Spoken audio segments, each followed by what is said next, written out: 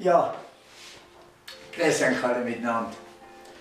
Ich habe da wieder ganz was Nettes gefunden. Und zwar ein Gedicht von einem ganz bekannten Mann, von De Pauli. Und das heißt, dem Herrgott sei Revier. Ich brauch daheim kein Molen nicht. Auch sonst kein Handwerksgesell. Ich schlaf auf Moos und Tannenstripp und brauch kein Bettengestell.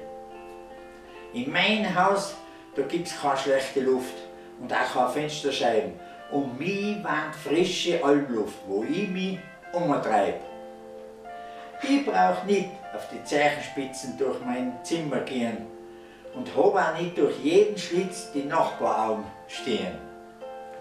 So etwas gibt's da oben nicht, wo mein Jodler schallen wo mein schwerer Bergerschritt Verstand und Fels dort hallen.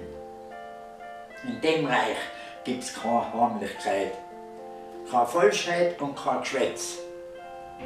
Da gibt's in alter Einfachheit ein uraltes Bergelgesetz und das heißt Freund sein mit alle. Ob Mensch, ob Tier, ob Pflanz, ob Stein, Secht's Leiteln. Drum dunkt's mir auch so fein.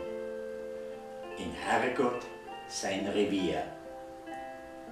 Ja, das war's wieder einmal. Und so sage ich, wie oft, viert euch alle miteinander.